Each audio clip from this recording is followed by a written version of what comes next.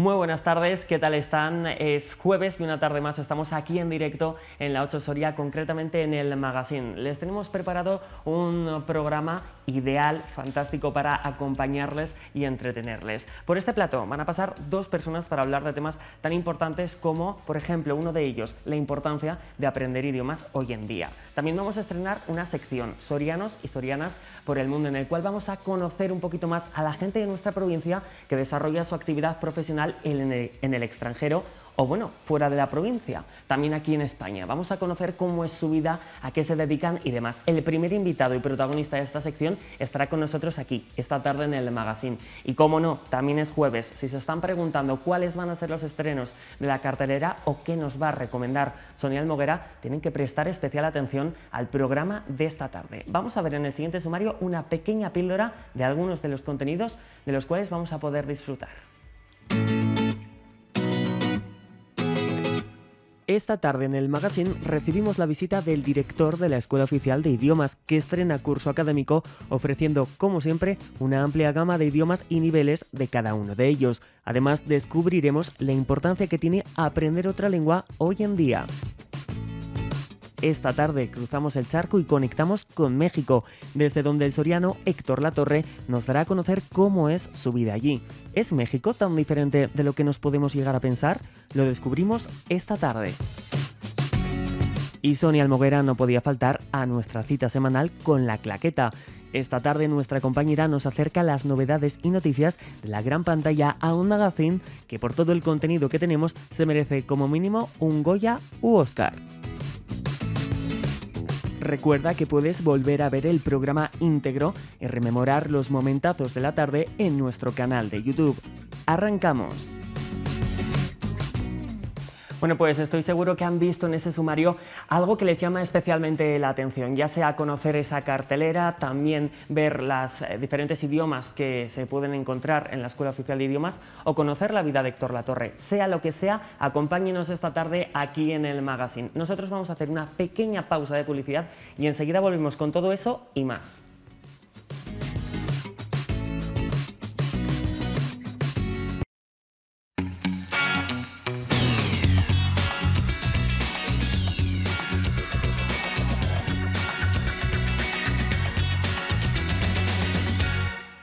Bueno, pues comenzamos con la primera silla de la tarde que la ocupa Nacho Sandonis, director de la Escuela Oficial de Idiomas. Muy buenas tardes. Hola, buenas tardes. Bueno, venimos a hablar de todos los cursos y variedad de idiomas que ofrecéis en la escuela, pero también, sobre todo, me gustaría empezar esta entrevista hablando de la importancia que tiene, sobre todo hoy en día, ¿no? aprender un idioma, ¿verdad? Qué duda cabe que en un mundo tan globalizado como el de hoy día, pues la necesidad de aprender idiomas es mayor que, que antes, ¿no? Entonces, hay muchos motivos para, aprender idiomas. Eh, a lo mejor nos fijamos solo en lo que es la amplitud de expectativas laborales, que por supuesto que es muy importante, no vamos a negar que hay mucha gente que se plantea un futuro profesional fuera de España y, ahí es imprescindible el conocimiento de los idiomas, pero no me gustaría que nos centráramos solo en eso, sino que eh, a ver, eh, aprenderse un idioma también porque tienes otra serie de, de inquietudes, ¿no?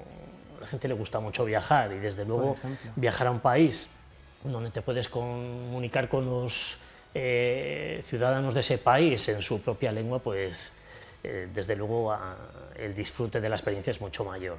Y luego pues también por interés personal. Mm, bueno, hay mucha gente que le gusta leer, que le gusta ver cine en versión original. Y bueno, yo creo que ver una película en versión original, pudiendo entender el idioma, eh, te va a permitir disfrutar más de, esa actividad. De hecho, precisamente el ver una película en idioma original, siempre y cuando se está aprendiendo, es una de las actividades más recomendadas. ¿no? Por supuesto. Estoy viendo que hay muchísimos, son muchísimos los motivos que nos invitan a aprender un idioma. Uno de ellos, por ejemplo, el primero que has dicho, el del trabajo. Por ejemplo, para los niños a lo mejor quizá es una asignatura en el colegio que hay que superar, pero también en el trabajo, en el mercado laboral, hoy eh, lo piden hoy en día. O sea, es una cosa determinante y esencial, ¿no? Por supuesto. Eh, yo creo que todos sabemos que hay determinados colectivos que, por lo que sea, saben que sus condiciones laborales son mejores en otro país. No nos vamos a meter en, en cuestiones de política, pero eso es algo que sabemos todos. ¿no? O sea, eh, si uno eh, quiere ir a trabajar como enfermero al Reino Unido, que ofrece mucho trabajo, pues por supuesto tiene que saber el inglés. También en Alemania ha habido varias veces como llamadas ofreciendo trabajo para ingenieros y, bueno, pues lo mismo, tienen que saber alemán. ¿no? Entonces, eh, desde luego es, es un eh, motivo muy importante para, para, aprender idiomas. De hecho, puede ser ¿no? que muchos de vuestros alumnos eh, sea esa su motivación porque necesiten ¿no? para trabajar, tener conocimientos en un idioma concreto. Sí, ahora también en el ámbito de la educación también se está exigiendo que el profesorado, el profesorado tenga un, determinado nivel de conocimiento en idiomas. Y también, eh, si pensamos, por ejemplo, en los estudiantes eh, que más tarde irán a la universidad, pues todos conocemos la posibilidad de, pasar parte de, de, nuestros estudios en otra universidad, en el extranjero, las becas Erasmus, sin ir más lejos, y, y ahí si tenemos el conocimiento del idioma que piden, pues eh, vamos a tener más posibilidades de conseguir esas becas Erasmus. Varios motivos, pero también comentabas uno que bueno, pues me haría especial ilusión hacer hincapié en él y es en cómo aprender un idioma puede ser por gusto personal y porque nos invita a conocer también la cultura ¿no? de la civilización que emplea ese otro lenguaje, ¿verdad? Por supuesto, hemos mencionado el cine, hemos mencionado eh, la literatura, en fin, eh, el hecho ya de, poder eh, conocer otras culturas, otras formas de pensar, eh, te abre bastante la mente. En España siempre hemos sido mucho de pensar aquí, como aquí no se vive en ningún sitio, y no voy a decir que no esté de acuerdo con eso, pero no debemos caer en eso, porque hay muchas cosas que aprender de nuestros países vecinos y hay cosas que ellos saben hacer mejor, nosotros sabemos hacer mejor otras cosas, eso solo lo puedes aprender eh, eh, estando en contacto con, esos países, con su cultura, con su mentalidad y qué mejor forma de hacerlo que hablando con ellos en su propio idioma. ¿Cuáles son las claves para aprender otro idioma? Porque habrá quienes nos estén escuchando que les empiece a bueno, pues picar el gusanillo por aprenderlo, pero a lo mejor se echa hacia atrás porque considera que es muy complicado. ¿no? ¿Cuáles son las claves? Bueno, no voy a decir que un idioma se puede aprender así rápidamente, como a lo mejor he oído en algunos casos con determinados equipos. A ver, se necesita tiempo. Eh, se puede aprender de muy distintas formas. No voy a decir que la Escuela Oficial de Idiomas sea el único sitio donde se pueden aprender idiomas. Hay muchas instituciones que ofrecen cursos de idiomas. También hay cursos online donde uno también puede aprender. Uno puede aprender también simplemente leyendo o, con material didáctico, eh, la constancia es fundamental, o sea, la regularidad.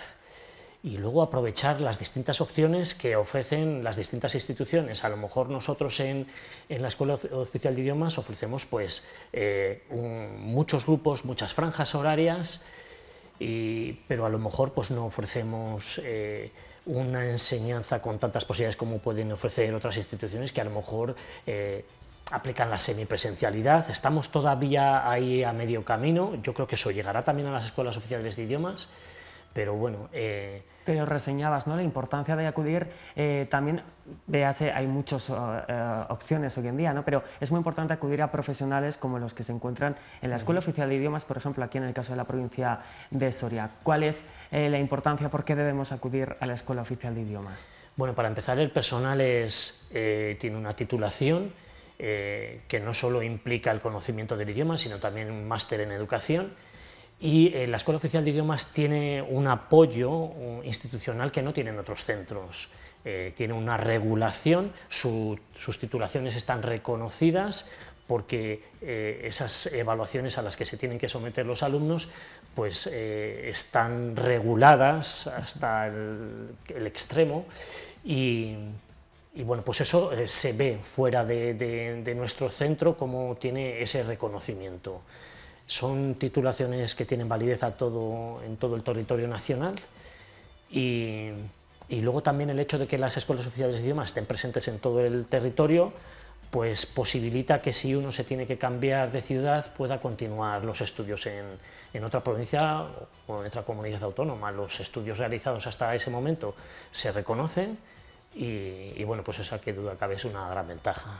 También otra de las eh, fundamentales puntos eh, de garantía para escogeros son los 45 años de experiencia ¿no? que tenéis por lo menos aquí en Soria. Así es, 45 años, desde el 1978 que empezó eh, a funcionar la Escuela Oficial de Idiomas de Soria, al principio como un centro asociado a la Escuela Central de Madrid, la Escuela Jesús Maestro, luego ya más tarde, en la década de los 80, ya con eh, el traspaso de las competencias de educación a las comunidades autónomas, eh, ya fue un centro independiente. Y bueno, pues claro, eso implica mucha experiencia, también se ha ido dotando al centro de mejor equipamiento, como novedad este año ya todas las aulas están equipadas con paneles digitales interactivos, hoy día cada vez eh, es, bueno, es, imposible pensar una clase de idiomas sin un panel digital interactivo sobre el que proyectar vídeos, eh, sobre el que proyectar páginas de internet. y, bueno, pues eso ya lo tenemos desde este curso de forma generalizada, al igual que en el resto de centros educativos de la provincia. También como otra de las, eh, poco a poco, eh, durante las décadas habéis ido incorporando mejoras, al igual que idiomas, ¿verdad? Actualmente contáis con una gran gama de idiomas entre los que elegir, por ejemplo, estoy viendo carteles por aquí, ¿no? Veo italiano, también hay alemán, me comentabas francés, inglés, ¿no?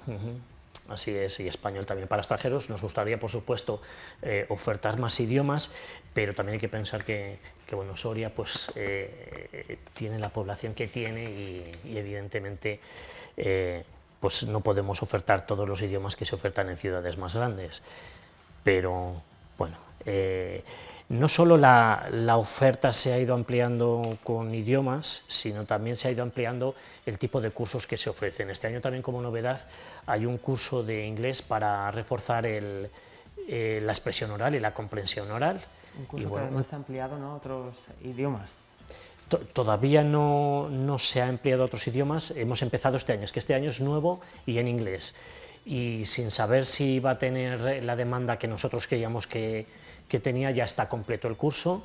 Y bueno, eso nos tiene que hacer pensar eh, sobre esta ampliación de los cursos, no en el caso de los idiomas, pero sí en la forma, en el tipo de cursos que ofertamos, que a lo mejor de momento solo tenemos cursos curriculares más este curso específico de expresión oral y a lo mejor tenemos que, cambiar un poco esa oferta y orientarla más hacia eh, determinadas, el refuerzo de determinadas actividades de lengua hablamos de distintos idiomas, pero claro, dentro de cada idioma también hay eh, numerosos niveles eh, en función de nuestras necesidades y sobre todo de nuestros conocimientos, ¿no? Claro, eh, hace tiempo que el Consejo de Europa estableció el marco europeo de referencia de las lenguas y estableció esos seis niveles que yo creo que conoce ya bastante gente, A1, A2, B1, B2, C1, C2. Bueno, pues en el caso de la Escuela Oficial de Idiomas de Soria y en el caso de inglés está implantado todo el plan de estudios, cosa que no, eh, no ocurre en todas las escuelas capitalinas de la comunidad. En Soria, inglés tiene implantado todo el plan de estudios. En el resto de idiomas eh, tiene implantado hasta el C1, bueno, en el caso de español, dependiendo de, las cifras de matrícula de cada año, pues se puede o no se puede ofertar ese curso de C1. Que es un idioma también bastante, perdón, un nivel dentro del idioma bastante elevado, el C1. Ofrecéis también, como no, eh, la realización de exámenes oficiales, ¿no? La preparación incluida, claro. Claro, a lo mejor lo que más conoce la gente es la modalidad de enseñanza presencial. Uno viene a clase y al final eh, se examina. Ah, exámenes oficiales, vaya.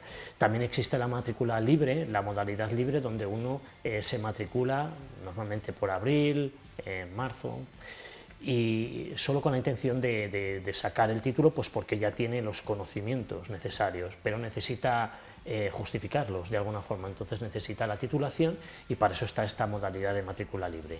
Y luego hay una cosa intermedia que solo existe en inglés, que es el programa de inglés a distancia, That's English, y que es una cosa intermedia. Uno trabaja en casa con unos materiales, eh, tiene un par de horas de tutoría semanales, de apoyo, de refuerzo, para conversación también, y al final hace también los mismos exámenes oficiales que, que, el resto de alumnos de la Escuela Oficial de Idiomas. En el caso de esta modalidad, además, hay centros tutoriales también en Olvega y en San Leonardo, además de Soria, claro. Estoy viendo que hay entonces una gran gama de posibilidades, cada uno puede ir y escoger la que más le conviene. Precisamente los cursos, el curso académico ha comenzado prácticamente hace nada, pero todavía podemos apuntarnos, ¿verdad? Sí, así es. Las clases empezaron ayer. Ayer y hoy estamos un poco con las eh, primeras presentaciones y, pero todavía existe el plazo ese de matrícula de plazas vacantes, ya un poco los restos de plazas para aquellos que no se han matriculado en los plazos anteriores. Eh, la matrícula de plazas vacantes empieza el día 10, estaremos ahí como una semana con la matrícula abierta, con ese plazo abierto, pero también quiero animar a la gente a que, si tiene claro que quiere cursar estudios en la Escuela Oficial de Idiomas y que si quiere matricular en ese plazo de, de plazas vacantes, eh, que vaya ya directamente a la escuela, que, acceda a las clases, ya han empezado las clases y si se va a matricular no hay necesidad de esperar a terminar de formalizar la matrícula, puede ir ya a las clases. Un mensaje muy importante porque, claro, conforme eh, va avanzando ese curso académico, bueno, pues son eh, materiales didácticos los que ya se van dando y a lo mejor uno entra a mitad y le ve que le cuesta más o no, o sea, que el mensaje queda en casa grabado. Si están interesados, deben de acudir ya a la Escuela Oficial de Idiomas para matricularse en uno de los tantos idiomas que ofrecen. Eh, se me surge una pregunta y es la de eh, ¿Hace falta entonces hacer también un examen previo de, para seleccionar un poco el curso en el que se introduce el alumno? Claro, si tenemos conocimientos previos en el idioma, pues conviene hacer esta prueba de clasificación, que así es como la llamamos nosotros. Eh, hay de plazo para apuntarse en esta prueba de clasificación hasta mañana. Hemos hablado de que el plazo de la matrícula de las plazas vacantes es a partir del día 10 hasta el 17, pero si queremos hacer esa prueba de clasificación para acceder directamente a un nivel superior, porque tenemos conocimientos previos, tenemos que formalizar esa inscripción hasta mañana, mañana día 6. Pues ahí queda ese mensaje, hasta mañana pueden hacer esa prueba de nivel y si no también pueden incorporarse a los distintos cursos que ofrece la Escuela Oficial de Idiomas. Desde luego que es una oportunidad que no habría que dejar pasar, ¿verdad? Yo creo que no, además eh, hacemos también cosas muy divertidas en clase. Este año va a haber un taller de teatro en inglés. Oye, son otras formas de, aprender idiomas. Porque todo eh, cuenta, ¿no? Decíamos antes, ver películas en inglés, pues eso suma. En inglés, en el caso es que, en el que estemos aprendiendo inglés, pero hay tantos y tantos idiomas, ¿verdad? Por supuesto, estas otras actividades extraescolares de conversación. A lo mejor hemos mencionado solo el curso específico, pero también va a haber actividades de, conversación en inglés, perdón, en italiano, en alemán, aprovechando la presencia de nuestro centro de auxiliares de conversación de esos idiomas y luego pues nos gusta mucho celebrar eh, determinados días, determinadas efemérides con otras actividades. El año pasado llevamos a cabo actividades deportivas en Soria, que es una ciudad que tanto eh, tan aficionada al deporte es, pues llevamos a cabo actividades deportivas en idiomas y bueno, yo creo que la experiencia para la gente que participaba era muy positiva. Bueno, pues agradecerte sobre todo esa, esta visita aquí al magazine, habernos eh, dado a conocer todas las posibilidades que ofrecéis en la Escuela Oficial de Idiomas. Queda en casa ese mensaje. Muchísimas gracias, Nacho, por acercarte. Vale, pues muchas gracias a vosotros. Y nosotros vamos a continuar con el magazine. Ahora vamos a hacer una pequeña pausa de publicidad y enseguida volvemos con la sección Sorianos Emprendedores por el Mundo.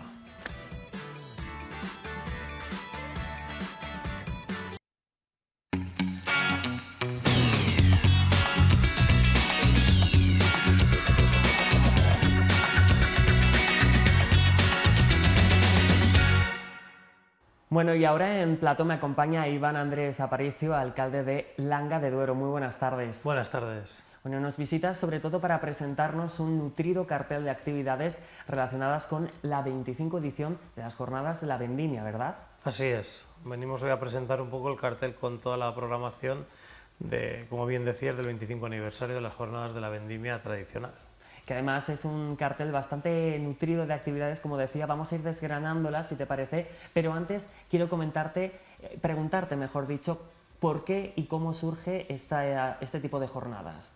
Bueno, pues estas jornadas eh, hace 25 años que, surgen y nacen de la mano del antiguo alcalde, de Constantino de Pablo, pues eh, nacen un poco mm, queriendo darle valor a toda esta cultura y a la tradición de, de la vendimia del vino, porque bueno, como todos sabemos, en la zona de la ribera, eh, al final el vino ha sido parte de nuestra cultura, de nuestra tradición y de nuestra vida durante toda, vamos, durante toda la época.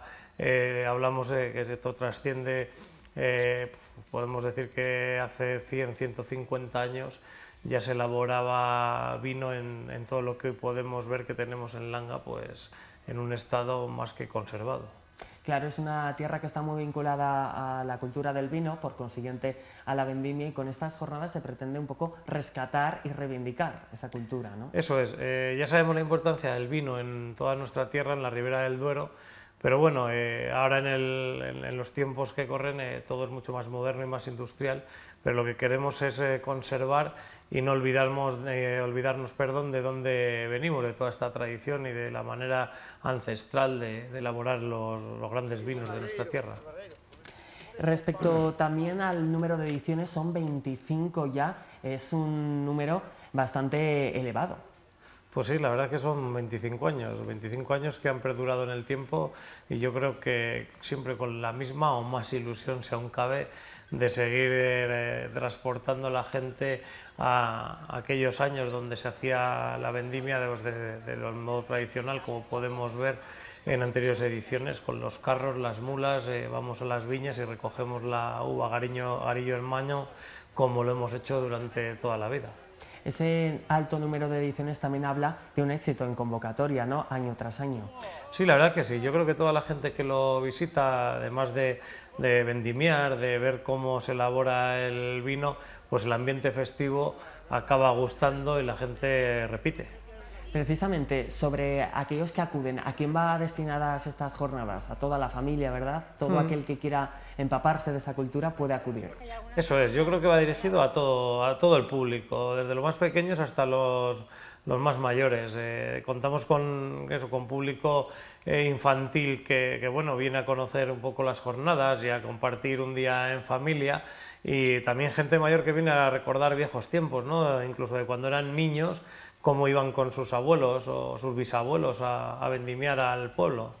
Precisamente ante esta invitación para disfrutar de estas jornadas de la vendimia, surge la pregunta de ¿hay que inscribirse en algún lugar? ¿Hay que pagar una cuota de entrada? Eh, es totalmente gratuito, ¿verdad? Eh, sí, bueno, lo que son las jornadas como tal o acceder a los eventos, exposiciones, conciertos, a lo que hay durante el día eh, es gratuito. Lo único que habría que pagar es si la gente quiere venir a, eh, llamemos jornada completa, donde sí que se incluye desayuno, un pequeño almuerzo en la viña y luego la comida. Eso sí que habría que pagarlo. También pueden venir solo a comer, hay diferentes tarifas que podrán ver en nuestra web y inscribirse es fácil. Eh, llamar al Ayuntamiento de Langa de Duero o a un correo que tenemos que para no liar mucho a la gente, llamen al ayuntamiento que les facilitaremos todos los datos que les hace falta o entren en nuestra web y verán dónde se pueden inscribir. Es fácil, sencillo y rápido, puesto que empieza prácticamente ya, ¿verdad? La primera actividad el 7 de octubre, este sábado. Eso es, este sábado vamos a hacer la presentación y la apertura de las jornadas. Para aprovechar eh, la coyuntura, lo que vamos a hacer ya es la tercera edición que venimos eh, durante estos tres años haciendo del concurso de vinos caseros, de la gente que elabora sus vinos en sus casas y hacemos un concurso de los vinos caseros y bueno, nada, que gane el mejor. Hablas de ese concurso de vinos artesanos, pero también tenemos una cata de vino. En ese caso sí que hay que pagar 15 euros, pero disfrutaremos una cata de muy alto nivel, ¿verdad? Sí, haremos una cata de vinos, de 3-4 vinos de bodegas de la Ribera Soriana, vinos pues eh, desde diferentes tipos de vino. Cataremos tintos, rosados, blancos, eh, vinos de los mejores del mercado y de nuestra tierra impartida pues, por gente experta en, esta materia y después de esa cata tendremos un, pequeño picoteo, un pequeño lunch donde todo el mundo podrá compartir esa experiencia y cambiar opiniones de cómo ha ido la cata y de quién le ha gustado más un vino u otro. Claro, porque este tipo de actividades, ¿no? tanto de los concursos como en este caso la cata, favorecen mucho eh, las dinámicas de relación social, ¿no? Conoces gente, hablas de algo en común como es el vino, ¿no? El ambiente supongo que es inmejorable. Sí, al final lo que, todo lo que gira en torno al vino durante las catas eh, es eso, buscar un poco la convivencia, el relacionarse, el intercambiar impresiones, el poner en valor la riqueza de los vinos, pero sobre todo eso, eh, que la gente pueda relacionarse y pueda pasar un buen rato en convivencia con el resto. Eh, hacíamos mención a esa cata de vinos, pero no es la única actividad. De hecho, hay actividades relacionadas con la música, también con bueno, eh, actividades destinadas a los más pequeños, tío vivos. Cuéntanos, ¿qué más hay en estas jornadas? Sí, bueno, pues este año, con motivo del 25 aniversario, hemos querido darle, iba a decir una, pero unas cuantas pinceladas. A la vista está el cartel que, que presentamos. Y bueno, sabíamos que teníamos la jornada de la vendimia pues a todo eso hemos querido añadir y apoyarle con diferentes actividades. Eh, base principal, este año se, va a llevar a cabo un mercado tradicional que contará con diferentes puestos de, oficios, de oficios eh, tradicionales, donde veremos los antiguos oficios, cómo se llevan a cabo pues, en los diferentes puestos. A esos puestos les acompañarán puestos de alimentación, de souvenir, de, diferentes cosas que, que estarán a la venta. Y luego todo eso va a ir acompañado pues, de diferentes cosas. Habrá un tío vivo eh, para los más pequeños, luego tenemos también mm, títeres, tenemos cuentacuentos, tenemos eh, a Crispín de Olot, que, nos acompañará, es un, juglar muy conocido en estos mundos, nos acompañará con, canciones, chistes, eh, versos relacionados con el vino. Y después lo que hablábamos, lo metemos en materia musical ya. Estaba, estaba viendo justo el cartel y es que está repleto de actividades para todos los públicos, todos los gustos. Me gustaría incidir sobre todo también en esas actividades, incluso para los más pequeños, ¿no? Juegos de ingenio, tío vivo artesanal. Los, tienen, van a tener un área, además justo una, una, zona para ellos, para los más pequeños, tienen el tío vivo artesanal, juegos de ingenio y bastantes juegos relacionados con los más pequeños, pero juegos de los de antes, es decir, volvemos al pasado. Al final lo que queremos con todo esto es volver a tiempos pasados, para que la gente no olvide nunca de dónde venimos, porque es muy importante saber a dónde vamos, pero no olvidarnos nunca de dónde venimos.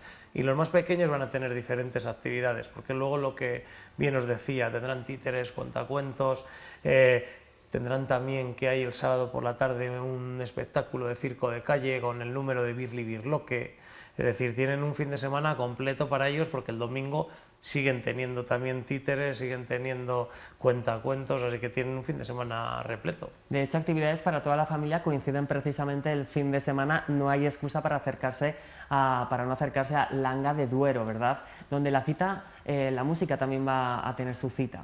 Eso es. La música, hay diferentes grupos que, que nos van a acompañar, que van a amenizar todas estas jornadas el sábado día 7, cuando ya empezamos, tendremos por la tarde la actuación de la charanga local, de, Charalanga, que nos amenizará el, comienzo y la apertura de las jornadas. Y después tendremos un concierto de la Orquestina Tradibérica, eso el sábado día 7. Y ya nos vamos al grueso de las vendimias, que nos vamos al Puente del Pilar con, empezamos con el primer concierto el día 12, un grupo local, Rivera Fidelis, que este año presenta nuevas canciones que son de ahí, del pueblo, o son gente que aunque no sean del pueblo, eh, se han arraigado al pueblo y, son como tal ya del pueblo. Y después del día 12 eh, vamos al día 13, viernes por la tarde, donde ya tendremos el mercado, etcétera, y nos acompañará Carrión Fol, un grupo también de Castilla y León. Bueno, sabemos toda la trascendencia, el, largo, el, largo periodo en el tiempo que viene desarrollando la actividad musical este grupo, que también nos acompañará, un grupo con muchísima calidad. Ya el sábado saltamos a, todo lo que podemos ver, a, todas esas jornadas repletas. Que de hecho el sábado se podría decir que es el día grande, ¿no? Sí, el sábado es, el principal día y, el sábado lo que tenemos es por la mañana a la viña nos acompañarán los gaiteros de Cotorredondo, como se ha hecho toda la vida, con, esas dulzainas, ese tambor. Y por la tarde, ya lo que tenemos, eh, acabando todo el día de, de actividades, pues tenemos un par de conciertos. Tenemos un grupo soriano porque bueno, al final hay que contar con los de casa porque es lo que, lo que toca en estos momentos, hacer un poco de, referencia y poner un poco en valor todo lo nuestro. Tenemos a Menaya para empezar a abrir eh, cartel y para finalizar como cierre tenemos ya un grupo que nos acompañará de Castilla-La Mancha, también bastante potente en, en, estos temas musicales como es la música folk, que es de Fatty Farmer y hablamos de un grupo con un poquitín más de ambiente para que la gente ya cierre la jornada pues bueno, con las pilas cargadas. Desde luego que estamos viendo también un cartel en lo que respecta a lo musical del que no hay que perder detalle.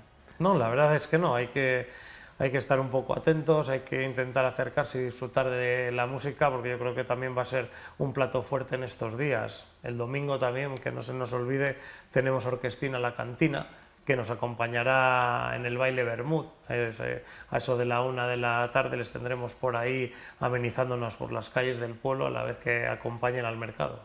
Bueno, pues desde luego que todos aquellos interesados pueden acudir a Langa de Duero a partir del sábado 7 de octubre y sobre todo poniendo la vista en el próximo fin de semana del 14 y 15 de octubre, sobre todo ese 14 que es el día grande como hemos contado puede acercarse todo aquel que quiera disfrutar de la cultura del vino, de las jornadas de la vendimia y si quieren eh, bueno, pues conocer aún más y vivirlo más desde dentro, pues pueden llamar al ayuntamiento, ¿verdad? Como hemos dicho antes, y inscribirse en estas actividades. Así es.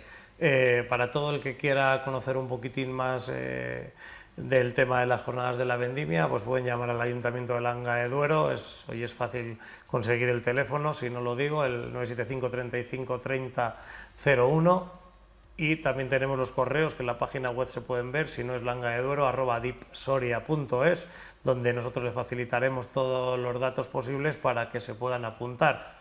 No cabe más que esperar eh, a toda la gente que quiera venir a visitarnos, le recibiremos con los brazos abiertos. Estoy seguro de ello, ya lo saben en casa. Muchísimas gracias por haber venido aquí al plató de la Ochosoria y darnos a conocer todas las actividades que completan este cartel de la 25 edición Jornadas de la Vendimia en Langa de Duero. Muchísimas gracias a vosotros por darnos la oportunidad. Estaremos pendientes de cómo se desarrollan esas actividades, pero ahora lo que vamos a hacer es cruzar el charco. Vamos a conectar con México para, como les decía antes, estrenar la nueva sección de sorianos y sorianas emprendedores por el mundo.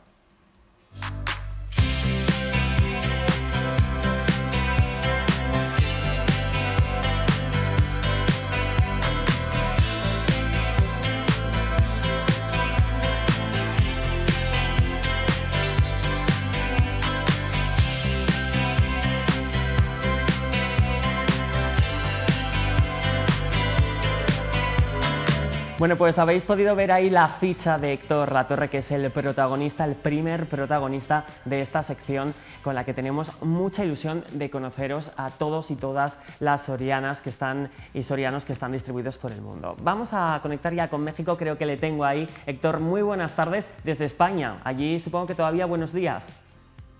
¿Qué tal, Pablo? Muy buenos días, buenas tardes. ¿Cómo estás? Un, un placer estar aquí y además afortunado por ser el primero.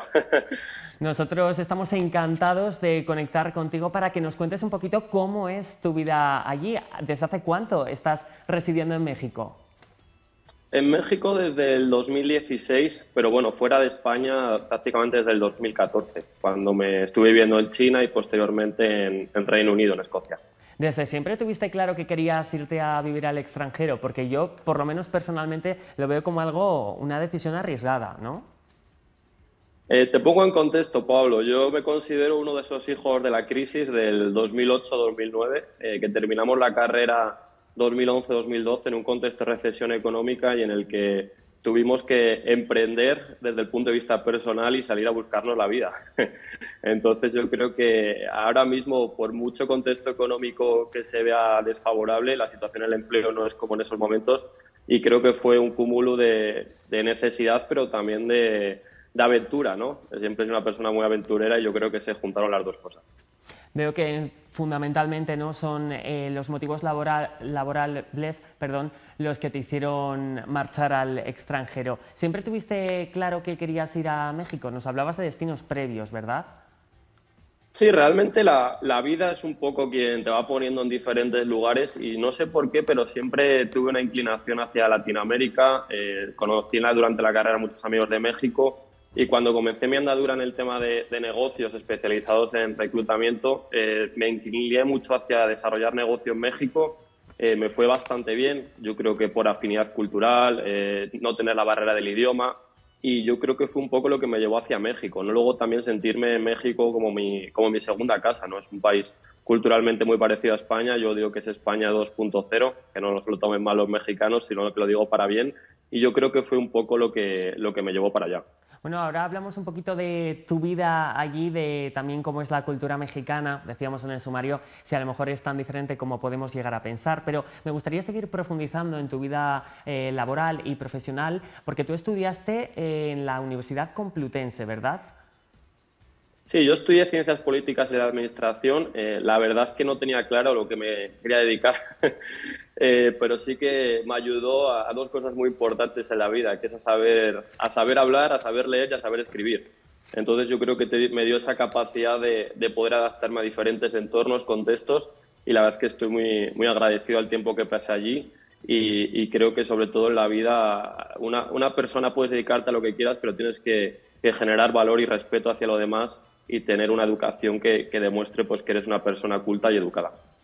Desde luego que hay que dar ese mensaje tan importante. Eh, también me gustaría hablar contigo acerca de ese terreno laboral, de cómo cuesta, eh, se suele decir, eh, ser emprendedor. Aquí por lo menos en España son muchos los que dicen que no es nada fácil. ¿Cómo es serlo ahí en México?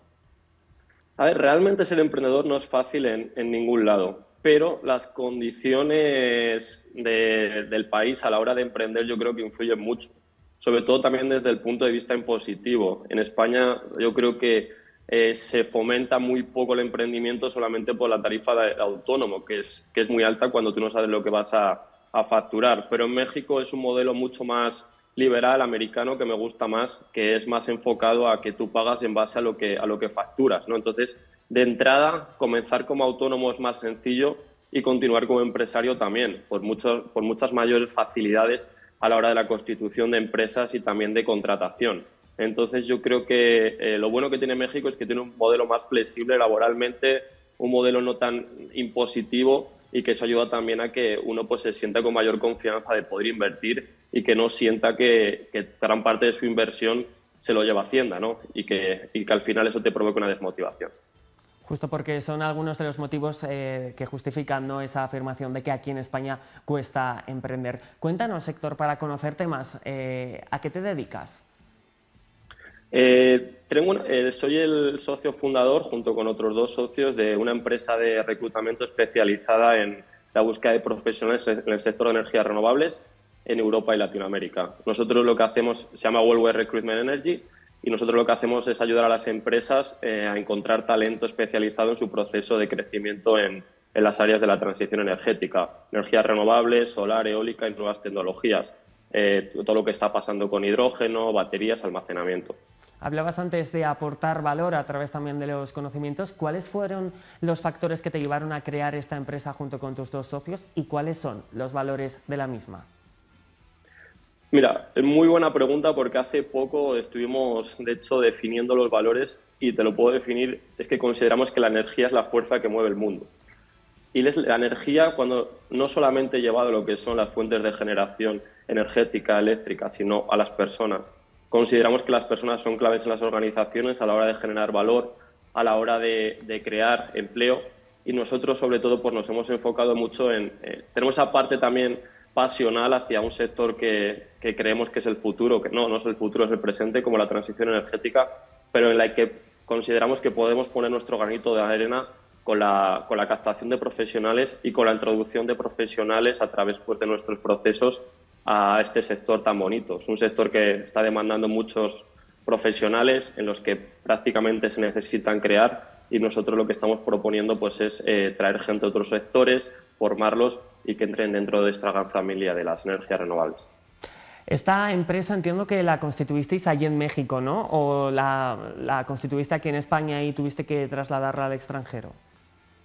No, la empresa se constituyó en México y posteriormente la constituimos en España y ahora estamos en un proceso de crecimiento internacional, principalmente hacia el sur de Europa, e Italia y Portugal y el resto de Latinoamérica y, también eh, proyectando los próximos años entrar en Estados Unidos. De hecho, estamos viendo en casa, te acompañan también imágenes ¿no? de tu actividad profesional. ¿Qué consejos le darías a todos aquellos que nos estén escuchando y viendo y estén pensando en emprender? El consejo que les daría, eh, primero, que no tengan miedo, pero que tengan, que tengan que ser conscientes de que hay mucho sacrificio personal detrás. En mi caso ha sido un sacrificio personal de estar lejos de la familia, sacrificio personal también de que eh, tu vida vas a tener que dedicarla en gran parte, al menos en, el inicio, a, tu proyecto, pero que tengan claro que si su, su servicio o producto funciona en el mercado. Que antes de aventurarse a montar una sociedad, validen, testen si su servicio, o su producto tiene buen recibimiento y que tampoco se compliquen la vida con ofrecer muchos productos o muchos servicios al mismo tiempo. Que tengan, yo soy partidario de la cultura del monoservicio o el monoproducto, es decir, probar con ese servicio, hacerlo crecer y luego pasar a desarrollar nuevos. Entonces, que no se vuelvan locos con ideas, de, con business plans de escuelas de negocios de Harvard que no llevan a nada, sino que crean en su producto o en su servicio y que a partir de ahí lo testen y lo hagan crecer. Oye, y una última pregunta relacionada con este aspecto más laboral. ¿El emprendedor nace o se hace? ¿Todo el mundo puede ser emprendedor o emprendedora? Yo creo que hay diferentes tipos de emprendimiento. Se puede ser emprendedor también dentro de una organización, se puede ser emprendedor de una empresa, es decir, eh, hay un área de oportunidad dentro de la empresa y si tú eres emprendedor puedes eh, pues desarrollarla y hacerla crecer. Entonces, yo creo que, se que al final es una filosofía de vida, una manera de ver las cosas, el tener inquietudes. ¿no? Yo creo que sobre todo los emprendedores, ya sea internos o externos, eh, internos me refiero a los que emprenden dentro de sus propias empresas o externos que hacemos de manera individual, eh, yo creo que sobre todo tenemos esa, esa pizca de, ilusión, eh, ser aventureros y, y, y, ser optimistas. ¿no? Yo creo que son, son, tres cosas fundamentales. ¿no? Entonces, que, que no tengan miedo y que también que evalúen diferentes tipos de emprendimiento. Es decir, que eh, para mí emprender también es una persona que dentro de su negocio decide crear un eh, ampliar su espacio ¿no? de, negocio, es decir, hacer ofrecer una nuevo, un nuevo menú en un restaurante. Entonces también el emprendimiento va mucho más allá de, crear empresas. Héctor, vamos a hablar ahora de tu vida allí. Cuéntanos, ¿cómo es eh, tu vida en México? La verdad es que maravillosa, ¿eh? no me voy a quejar. La verdad es que, México me ha tratado siempre súper bien. Eh, me siento como en casa. La gente es encantadora. Eh, te tratan súper bien por ser español. Y, la verdad que, que, se come muy bien y que, y que estoy de maravilla. Sobre la gastronomía, por ejemplo, ahí tiran mucho de picante, ¿no? ¿Qué es eh, lo que más te gusta comer allí en México? ¿Qué plato recomendarías si todos nosotros queremos viajar a México? Pues sobre todo, a mí me encantan los mariscos. Eh, las tostadas de atún, los tacos de gobernador, el taco que es un taco de marisco y sobre todo una cosa que se echa de menos cuando uno está en Europa, que es el aguacate. Eh, el aguacate que se encuentra en México no lo encuentras en ningún lado. Eh, entonces, eh, el, aguacate, más la gente conocemos el guacamole, pero no, el aguacate de verdad, con un poquito de sal, es algo que, es una degustación, que es, que es maravilloso. Entiendo que, bueno, conforme te has ido adaptando allí, todo ha ido mucho más fácil, pero al principio, ¿qué fue lo que más te costó? El idioma, por lo menos, no es una barrera, ¿no? No lo fue en su caso. No, realmente es adaptarte a, pues, un poco al, estilo de vida. La Ciudad de México es una ciudad de 25 millones de habitantes y pues tienes que adaptarte a tu, a tu espacio, a tus zonas y, centrarte en eso, no salirte a zonas que no, pues que no se te ha perdido nada, ¿no? Entonces, partiendo de eso, partiendo del respeto, partiendo también de, pues de adaptarte a la cultura del lugar, yo creo que tanto en México como con cualquier lugar que vayas, eh, te puede ir bien, pero siempre desde el respeto y, desde, y del entendimiento de, de, la cultura y de, sus gentes. Claro, Héctor, porque hablas de bueno, eh, moverte por tu zona, además siempre se ha extendido cierto prejuicio sobre México de si es seguro o no es seguro. Cuéntanos tú en lo que respecta a seguridad, cuál es tu experiencia y tu percepción desde allí, claro.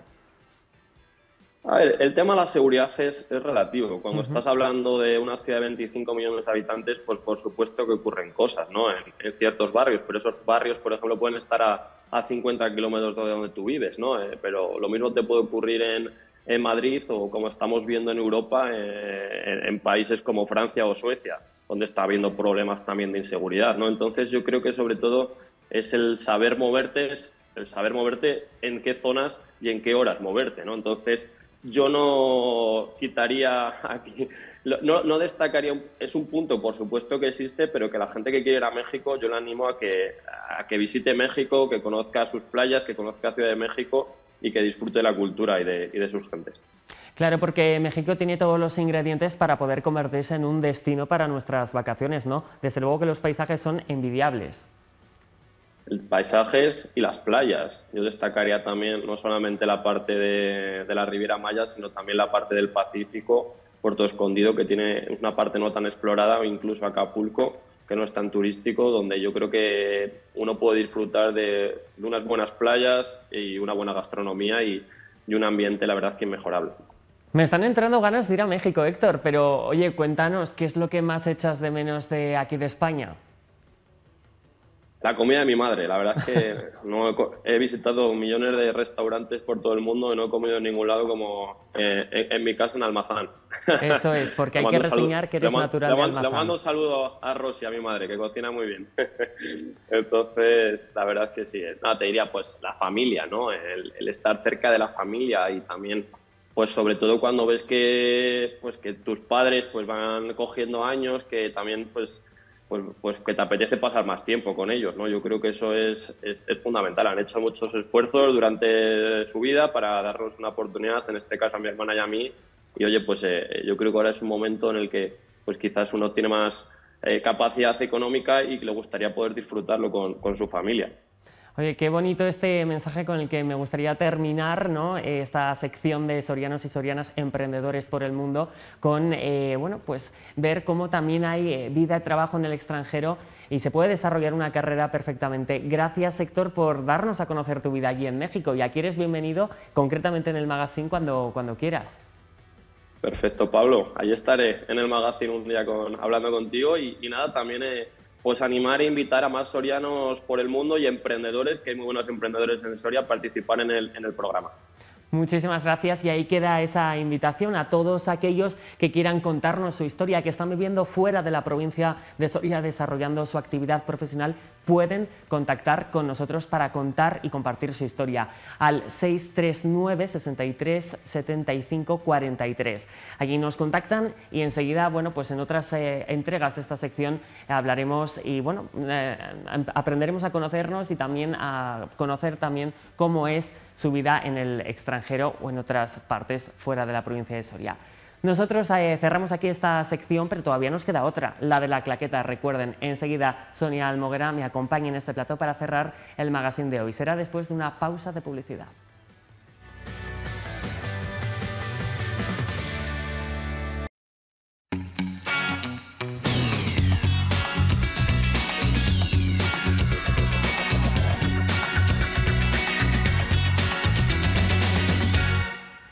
Bueno, pues vamos ahora ya con el último bloque del magazine de esta tarde. Como cada jueves, vamos a echar un vistazo a la cartelera para descubrir cuáles son las principales novedades y también las principales noticias del mundo cinematográfico. Comienza ahora aquí en el magazine La Claqueta.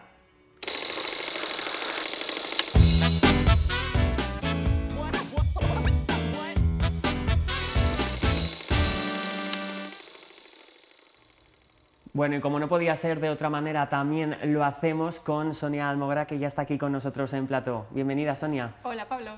Bueno, ¿qué tal esta semana? ¿Qué tal ha ido la semana? Pues muy bien, de fiesta del cine, que aprovecho para, si todavía alguien falta por, por ir, que en los cines Lara están hasta, bueno, la sesión de las 8 y de las 10 llegan, o sea que es verdad, porque a todos nuestros espectadores se acordarán que la semana pasada empezamos esta sección de la claqueta anunciando esa fiesta del cine, precio reducido 3,50, vamos. Sí, sí, sí, sí, la verdad que es una ocasión que hay que aprovechar. Además es muy buena cartelera, 14 títulos para elegir. Mm, Ahí es nada, ¿eh? Sí, sí, sí, eh, seguro que alguien encuentra lo que busca. En tu caso, por ejemplo, has ido al cine esta semana, ¿verdad? Me comentabas antes que, joder, un maratón, ¿eh? Por supuesto, bueno, no, Sí, bueno, sí, porque no tenemos más tiempo, que si no, pues hubieran podido ser más. Hemos, he visto eh, Misterio en Venecia. ¿Qué tal? muy bien, la recomiendo, muy bien, muy bien. Eh, Kenneth Branagh, maravilloso como Hércules Poirot, eh, en esa adaptación un poco singular de, de, la, de una obra de Agatha Christie. Eh, o sea, que el suspense está garantizado y encima del bueno, el que te pega la butaca y dices, ¿qué va a pasar? Que descubrirá este detective lo que sucede ¿no? en Venecia. Eso es, hay eh, intriga, hay asesinatos y, por supuesto, el Hércules Poirot resuelve el caso. Qué bueno, ¿y cuáles, qué títulos más has visto esta semana? Pues también The Creator, que es una peli futurista de ciencia ficción con un tema bastante de actualidad, eh, la inteligencia artificial. Mm. Pues eh, bastante interesante por lo que estoy viendo. Fíjate que no me tira a mí mucho la ciencia ficción, pero, Cuando se habla de inteligencia artificial, a lo mejor me, me puede atraer un poquito más. Y esa tercera me suena, que me lo estábamos comentando antes, ¿eh? hemos estado hablando y he dicho, uy, ese título me suena. Cuéntanos. Sí, El superviviente de Auschwitz, que, vamos, recomendamos el otro Eso día, es, aquí en la justo. carpeta. Ujú. Y bueno, pues mm, la verdad es que es una, peli, una película muy dura porque, bueno, pues hablar del tema del holocausto, campos de concentración nazi, pues es dura, pero es, es este tipo de películas necesarias y, bueno, pues eh, rodadas con el clasicismo que nos tiene acostumbrados Barry Levinson, que es un cineasta muy veterano y con una larga trayectoria. Qué buenos esos tres títulos, apunten en casa, aunque no van a ser las únicas recomendaciones de la tarde. Tenemos preparadas las de hoy, las de la sección. Pero antes, como siempre, vamos a hablar de las noticias del universo cinematográfico, ¿verdad, Sonia? Vamos, eh, además hoy tenemos plancha, ¿eh? Hoy hay. Pues sí, bastante. además todos, eh, todo es cine soriano, ¿eh? que es que tenemos muchísima actividad para que luego digan que, que aquí no hay Eso. cine. Pues sí, tenemos muchas eh, noticias de actualidad sorianas. Pues vamos a comenzar. Además, todas ellas tienen un nexo común, ¿verdad? Un hilo conductor, un, un escenario principal. Sí, eh, podríamos decir que están vinculadas a los cines mercado de, de la capital. Venga, pues vamos con la primera. Bueno, pues eh, además es una gran noticia para los, los cinéfilos de Soria porque ya tenemos la programación del Cineclub de la UNED eh, que arranca, mm, nada, en muy poquito, el 18 de octubre, eh, con Cerrar los Ojos, en la última película de Víctor Erice, que después de 30 años hay, que, hay que sacar un rato para, para ir al Cineclub y verla, claro. Claro, porque no es la primera vez que se realiza, ¿no? Ese cineclub de la UNED. No, bueno, eh, es, un, es de las iniciativas culturales más veteranas Longevas, ¿no? de Soria. de- de Soria. Y, y cumple este año 30, 30 años, en- haciendo cantera de cinéfilos en Soria. Pues imagínate la de generaciones que han podido pasar eh, viendo lo mejor del cine eh, internacional eh, en estos 30 años. Víctor Erice es el que lo estrena, ¿verdad? El 18 de octubre, pero también podemos comprar a partir del 16 ya los abonos, ¿no? Sí, eso es. Eh, estarán disponibles a partir de ese día, del día 16, también el día 17 y por la mañana el día 18 en la Casa de la Tierra, que es la sede de, de la UNED. Y el 18 por la tarde ya en Cines Mercado. Se podrán comprar al precio de, bueno, llevan, la inflación sube, pero el, el abono de Cine Club bueno no, eso. 60 euros. Lleva Fíjate. así unos cuantos años sin subir el precio. Así que... Pues está muy interesante recordarlo que, oye, la inflación aquí no ha subido y la apuesta yo creo que sí que habrá subido porque la programación pues se ha ido completando, tenemos una gran variedad de títulos. Eso es, como siempre, eh, 24 películas seleccionadas por los programadores del Cine Club de la UNED que siempre eh, eligen lo mejor de lo mejor de lo mejor del cine. Dan en el clavo. Eso es, las películas, bueno, inéditas en Soria, aunque bueno, siempre hay alguna reposición, este año hay dos, eh, la, persona, la peor persona del mundo y París, Texas, que se, eh, se reestrena este año coincidiendo con su 40 aniversario de, de estreno. Eh, pero son películas inéditas en Soria, eh, siempre exhibidas en su formato original, o sea, en versión original subtitulada, y eh, muy laureadas en festivales y, o por la crítica internacional. O sea, lo mejor de lo mejor. Entiendo que te vas a pasar por ahí, ¿no? Va a ser una parada obligatoria. Hombre, yo creo que es eh, parada obligatoria de todos los cinéfilos eh, de Soria. Además, es muy curioso porque eh, hay gente que se abona y ni siquiera ve mira la programación previamente. Se fía absolutamente del criterio de los programadores. Eso mm, viene a avalar un poco la calidad de, de toda esta trayectoria de tres décadas de Cineclub. Pues muy a tener en cuenta y muy cierto lo que dices. Yo, por ejemplo, aquí yo lo reconozco y de cine poco, me fío muchísimo de ti, así que todas las semanas con cada recomendación hay que tomar nota. Yo soy el primero que la toma, Sonia. Vamos con la segunda noticia. Bueno, y no nos vamos de los cines mercado porque seguimos allí. Eh, mañana viernes eh, a las 8 eh, eh, los cines mercado acogen la proyección de Embrujo eh, dentro de la festividad del Día del Cine Español, que es una iniciativa del Ministerio de Cultura en la que hace de anfitrión eh, nuestro certamen internacional de cortometrajes Ciudad de Soria. Respecto a ese día del cine, la película que decías, Embrujo, eh, bueno, vamos a reconocer una cara muy popular y muy querida aquí en España. Estamos hablando de Lola Flores, ¿no? Efectivamente, eh, la gran Lola Flor- Flores, la faraona, mm, que bueno, ya sabes que los medios de comunicación en su día eh, la catalogaron de gran maravilla, ¿no? Lo de ni, ni canta ni baila, pero no se la pierdan, ¿no? Pues eso, en este caso es su sexta película, eh, es del año 48 Y es una película además muy interesante porque en ella eh, su, el coprotagonista es Manolo Caracol, que fue también su gran partener en los escenarios. Esto nos decías también en los cines Mercado. Mírala, es que claro. Qué grande, Lola.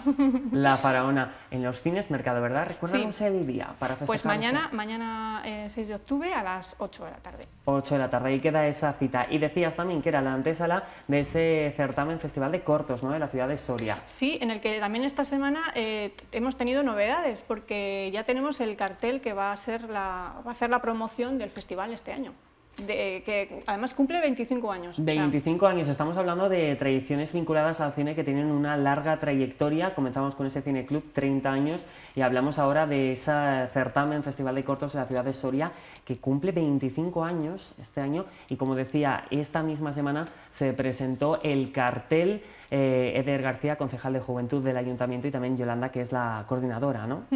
Eso, eh, recordemos que el Certamen Internacional de Cortometrajes Ciudad de Soria es eh, organizado por la Concejalía de Juventud del Ayuntamiento de Soria. empezó como un certamen para promocionar a jóvenes realizadores y bueno, pues ahí está, 25 años después, por ahí han pasado pues desde Bayona, del que claro, es que es muy importante mencionar esto, es que estamos hablando de un acto que está promovido, surge aquí en Soria, pero que tiene una gran eh, carrera y reputación para todos los que participan. Eso es, de hecho, eh, bueno, hablamos de los cachorros del festival muchas veces, mm, te digo, Bayona, eh, Nacho Vigalondo, Félix Vizcarret, del que también se, puede ver este año en el, en el Cineclub de la ONED, su última película, también pasó por el certamen de cortos. Y bueno, pues Daniel Sánchez Are, eh, bueno, Mateo Gil, o sea, la lista es inmensa. Y bueno, pues gracias a festivales como el de Soria eh, tuvieron ese impulso para dar el salto al largo y bueno, incluso algunos han vuelto a hacer cortos. Y bueno, pues eh, es muy bonita la labor que hace el festival. Porque claro, muchas veces se dice que el cortometraje es como el hermano pequeño del largometraje, pero oye, tiene muchísimo trabajo detrás, mucho ingenio, incluso también para condensar una historia en tan poquito tiempo. Eso es, ahí, ahí radica la, dificultad, porque realmente eh, un cortometraje es eh, una película, pero de corta duración. Eh, realmente toda la fase de una película se, concentra en, pocos minutos, minutos eso es. Pero... Tienes que dar perfectamente en el clavo con las eh, vueltas de guion, la narrativa para enganchar y contar esa historia. Eso es. Lo curioso de esto es lo que te comentaba antes, que, que muchos eh, directores ya consagrados vuelven al, cortometraje. Estoy pensando, por ejemplo, en Rodrigo Sorogoyen, que después de hacer eh, películas tan laureadas como em, Que Dios nos perdone, volvió al corto con Madre, se llevó un montón de premios. De hecho, estuvo nominado a los Oscar. Eso es, el corto estuvo nominado al Oscar eh, y después todo ese badaje de premios y de inyección de, bueno, pues de, vamos, de críticas positivas con el corto eh, lo llevó a hacer el largo eh, con ese corto de madre. Vamos a seguir avanzando. Bueno, eh, vamos a hablar ahora ya sí de las recomendaciones semanales, ¿no? Que nos llevan en esta ocasión los dos títulos a hablar de los cines Lara, ¿verdad? Eso es, porque los cines marcados en, en, esta semana, vamos, van a mm, estrenar estreno, bueno, reestrenar este, en Brujo, perdón, eh, pero no tienen estrenos eh, como tal. Continúa la cartelera tal como estaba la semana pasada. Y los estrenos se concentran en los cines Lara, que llevan unos cuantos, pero hemos seleccionado dos. Venga, pues vamos a ver cuál es el primero de ellos. Pues si te parece bien, Em, empezamos por Dispararon al pianista, que una es película una española, ¿verdad? Eso es, española y muy particular, porque es una película de animación eh, que bueno, vuelve, vuelve a juntar a dos grandes eh, artistas como son Fernando Trueba y Javier Mariscal que además ya tuvieron un éxito con la película que les antecede, ¿no? Y han decidido repetir y tras años de trabajo da lugar a esta otra cinta. Eso es, hace 13 años eh, y eh, bueno, estrenaron eh, Rita y Chico, no, Chico y Rita, perdón, que tuvo también muchísimo éxito, consiguió el Goya a la mejor película de animación y estuvo nominada incluso a la mejor película de animación en, los Oscars. Y bueno, pues vuelven a unir, les fue muy bien aquella experiencia y, bueno, pues han vuelto a a unir fuerzas ¿no? generar, crear este proyecto de animación. No es la única película, ¿verdad?, que estrenan los Lara. Eh, no, no, no, tenemos también, he seleccionado otra, El Golpe de Suerte, que es la última de Woody Allen. Importante también hablar de este director porque hay quien dice, bueno, pues que esta, eh, de momento es la última película que estrena. Cuéntanos de qué, de qué se trata, si el director, el afamado director, deja su huella también en esta cinta y qué le hace especial. Bueno, Woody Allen lleva unos años eh, dividiendo a público y crítica, con sus últimas películas que no son recibidas con los aplausos de antaño. ¿Esta lo será? ¿Tiene los en esta película ha recibido ya muy buenas críticas y parece ser que, que, bueno, pues está gustando. Eh, además, tiene la particularidad de que es la primera película que eh, Woody Allen rueda íntegramente en París y en francés, con actores franceses, que es algo súper mm, bueno, pues ajeno a lo que era su filmografía. Y bueno, tiene muy buena pinta, la verdad. Eh, cuenta la historia de, mm, de una, un- una chica joven, la estamos viendo aquí en imágenes, que está felizmente casada, pero de repente se encuentra con un compañero de instituto y todo cambia. Hasta ahí puedo leer. Madre mía, me estás dejando la miel en los labios. Quiero, tengo que ir a verla para continuar con esa narrativa que yo creo que a, a mí por lo menos me tiene atrapado. Pues estaremos muy pendientes a ver cómo funciona en cartelera esta última cinta de Woody Allen. No sé si alguna de estas dos las vas a ver, las dos. Hombre, Todo depende del tiempo, ¿verdad? Sí, es que sí, no eso, siempre... hay, hay que sacar tiempo, hay que sacar tiempo. Pero sí, seguro que alguna sí. Bueno, pues vamos a, hablando ahí, compartiendo pareceres. Y ahora, después de hablar de las novedades de la cartelera, como siempre en este punto de la claqueta, vamos a retroceder en el tiempo, unas cuantas décadas, ¿no? Porque esta semana el clásico, ¿de qué fecha es? Pues del año 1963. Mira, hoy he dicho, me apetece un poco de comedia, otro poco de romance y un poco también de misterio, intriga. O sea, que hay una película que es capaz de reunir todos esos ingredientes, ¿no? Efectivamente, ¿De la cuál tenemos hablamos? aquí en, esta, en estas maravillosas imágenes Bueno, con Cary. Grant, eh, Charada de Stanley Donen, una película que tuvo muchísimo éxito en su época y que reunió pues, a dos grandes del cine como son Cary Grant y Audrey Hepburn. Estamos viendo que es un reparto de excepción, las risas están aseguradas con todos esos elementos que nos decías y además es que el director ya había cosechado éxitos anteriores, ¿no? Eso es, bueno, estamos hablando de uno de los grandes del cine, eh, bueno, primero musical, porque es coautor de, de los tres grandes musicales que revolucionaron el género en los años 40-50, eh, Un día en Nueva York, Cantando bajo la lluvia y Siempre hace buen tiempo. Y luego hizo comedias maravillosas como Indiscreta, eh, Página en Blanco, eh, Dos en la carretera, también con, con Audrey Hepburn un poquito más tarde. Y bueno, pues es un cineasta elegante y bueno, maravilloso. Esta película es pura elegancia. Película para apuntar, al igual como también nos podemos apuntar la película de eh, favorita de nuestro siguiente invitado, ¿verdad? Cuéntanos. Sí, sí. Esta semana volvemos a abrir eh, la- en la pantalla el favorito de alguien. Sí, eh, nos ha mandado un vídeo muy bonito Enrique Rubio, que es el responsable del Departamento de Cultura de la Diputación Provincial. Pues vamos, a verlo.